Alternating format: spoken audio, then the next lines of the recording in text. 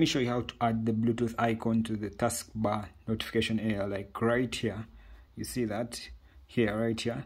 You don't have the bluetooth icon. Let me show how to fix that. So come to your start menu right here.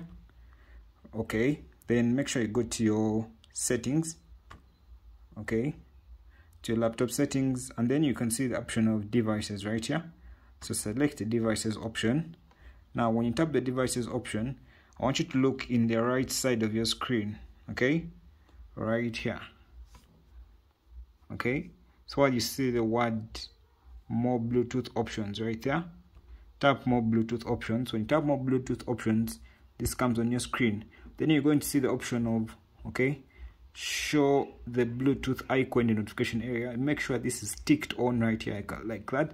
And then you press ok so when you come back right here you notice that the bluetooth icon has actually been added to the notification area. Okay? Pretty simple. Hit the subscribe button if you pick following this video